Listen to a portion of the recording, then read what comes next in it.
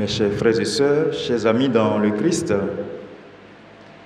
il n'y a rien de plus marquant que la juxtaposition de ces deux textes de la liturgie de ce jour. Il y a une trop grande distance entre l'un issu de l'Ancien Testament et l'autre du Nouveau Testament.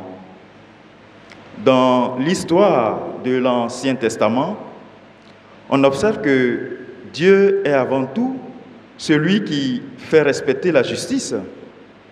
Dieu est celui qui délivre le juste et qui condamne par ailleurs le pécheur. On peut le dire, c'était le premier rôle de Dieu dans un monde où les valeurs sociales et morales étaient bafouées et où les méchants triomphaient. C'était le rôle propre de Dieu que de faire éclater la justice des justes et de montrer les fautes des pécheurs. L'histoire de Suzanne est très saisissante à cet effet. Elle nous montre d'une manière plus éclatante ce rôle de Dieu.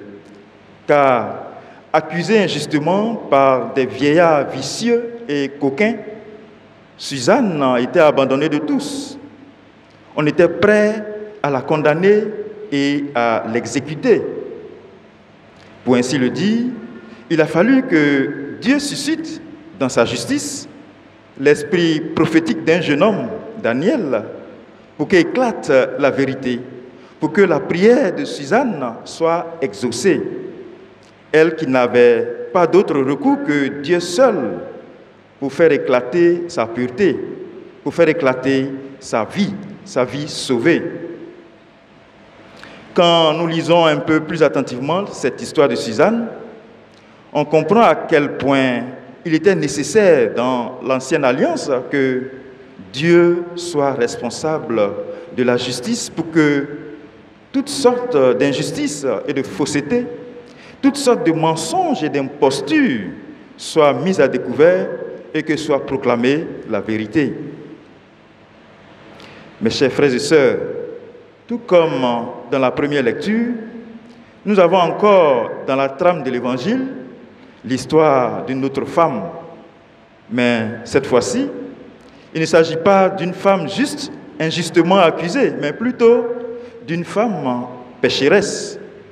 Et c'est à juste titre qu'elle est accusée. Les pharisiens l'ont pris en flagrant délit d'adultère et ils l'ont déféré devant Jésus pour voir comment il allait appliquer la loi de Moïse. Pour rappel, la loi mosaïque demande au nom de la justice que soient sauvés les justes et punis les pécheurs, que soient lapidées les femmes adultères. Plutôt que contredire la loi de Moïse ou sa propre prédication de miséricorde, Jésus a renvoyé les pharisiens à leur propre péché. Péché qu'ils ne pouvaient supporter devant lui, lui Jésus, et les autres accusateurs.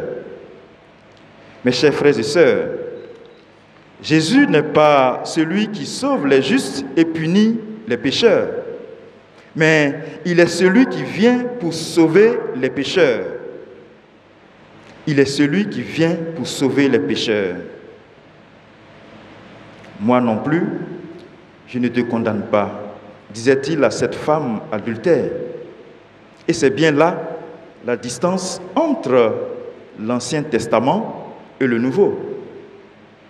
D'une part, un Dieu juste punit les pécheurs et sauve le juste.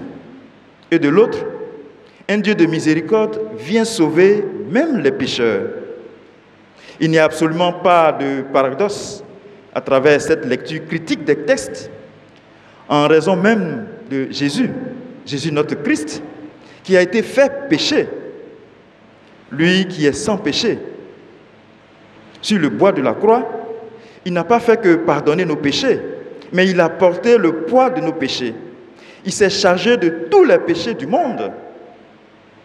Et sa mort sur cette même croix est pour nous l'expiation des péchés multiples de notre monde.